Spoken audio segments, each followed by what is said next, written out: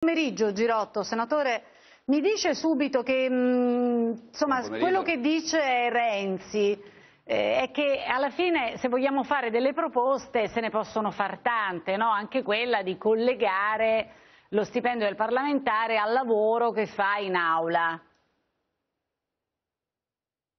Ma guardi, comunque vadano le cose, il Movimento 5 Stelle eh, otterrà comunque una parziale vittoria e il PD comunque una parziale sconfitta. Perché? Perché noi siamo riusciti a portare questo argomento sulla bocca di tutti. Questa trasmissione, le radio, i tv, i giornali parlano di questa proposta di buon senso.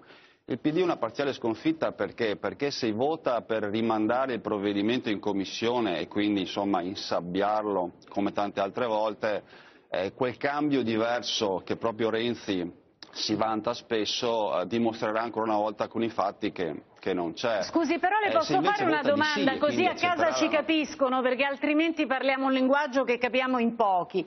Eh, lei dice se alla fine lo rimandano in commissione, io mh, per quello che so eh, gli emendamenti non sono stati discussi prima, quindi è inevitabile a questo punto che dal Parlamento Sì. si torni alla commissione. Perché non sono stati discussi prima in commissione?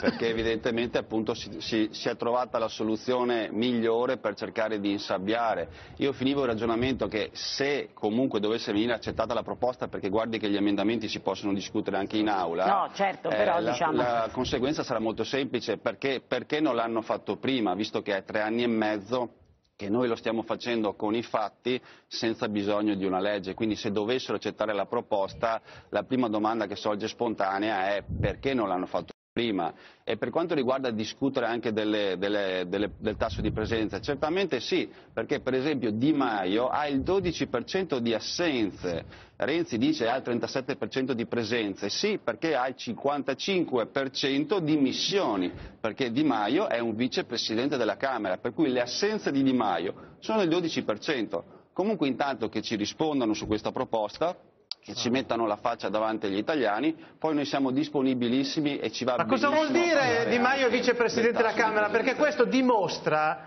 dimostra che a furia di demagogia e di rincorrere queste cose, salta fuori poi qual è il giochetto. Allora, il fatto che Di Maio, a differenza di un altro parlamentare, quando è assente, possa scrivere che è in missione, io non c'ho niente da dire, ma loro 5 Stelle che si presentano come i puri, i duri e puri, quelli che sono perfetti, dovrebbero essere i primi a dire per esempio che tutti i deputati sono uguali e uno semplicemente perché è vicepresidente può scrivere missione e quindi quando metti la casella missione nessuno ti può contestare l'assenza. Io non contesto il fatto che un vicepresidente della Camera Sì, no, possa no, mettere capito, in missione, capito. ma sono loro che dovrebbero dire siamo tutti uguali e la missione la rinunciamo. Cioè voglio dire che dietro questi giochetti qua, per esempio Renzi ha fatto benissimo a ricordare c'è chi usa centinaia di migliaia di euro per i rimborsi, oppure che ha un ufficio che sembra più grande di una hall dell'aeroporto di Fiumicino. Cioè, dove andiamo a finire? No, no, aspetta, però aspetta, chiaro, perché cioè, io- ecco, no, no, no. Luigi, Fer- Luigi. No, no, ecco, diciamocele voglio- tutte, no? Eh sì. Voglio sapere, voglio sapere da. Girotto. Da Intanto mi, fa- mi spiega una cosa.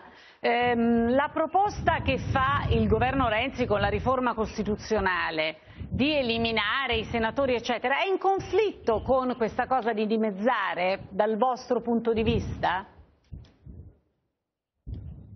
Allora, innanzitutto Luigi Di Maio ha restituito 200.000 No, euro. vabbè, però non, non fermiamoci a Di Maio, 18 risponda alla mia domanda. È in conflitto fatto. con la vostra proposta di dimezzare le Il indennità? Senato, il, Senato no- il Senato non viene, il Senato non viene abolito, ci saranno 100 senatori, il Senato non viene abolito. Sì, però quella riduzione 100 dei costi è in conflitto con la vostra riduzione dei costi? Oppure io cittadino posso pensare buona la proposta No. dei 5 Stelle e se la sommiamo a quella del governo Renzi abbiamo fatto o abbiamo ottenuto un risultato migliore o no? Sì, ma, sì, ma non, non- non- possiamo mettere sullo stesso piano eh, queste cose che sono profondamente diverse. In questo, in questo mo- momento noi abbiamo, una proposta molto semplice che è a prescindere No, no, dalla riforma costituzionale. Riforma costituzio- costi- È ero io che facevo un passetto in più e mi Allora, chiedevo se se mi- ogni tanto uno potesse anche, può anche dire, vabbè perché Ma no, certo le due cose può. non sono in conflitto sempre. tra loro, si potrebbero per esempio sommare. Facciamo una cosa, a fronte del sì, fronte del no, Ma e abbiamo- ovviamente noi la abbiamo Falasca già da fatto una Furfaro. proposta, noi abbiamo già fatto una proposta che è, molto, che è molto più incisiva, perché abbiamo già proposto di dimezzare l'intero numero di parlamentari, quindi di toglierne 450 dal Parlamento. Abbiamo fatto una proposta che è due volte e mezzo più, Va più bene. forte di quella della, della Vabbè, la sensazione che abbiamo è che vedremo bocciata. un grande spettacolo, anche domani se è confermata la presenza di Grillo, vediamo che cosa succede in aula. Immagino insomma che ci sia un- uno spettacolo importante.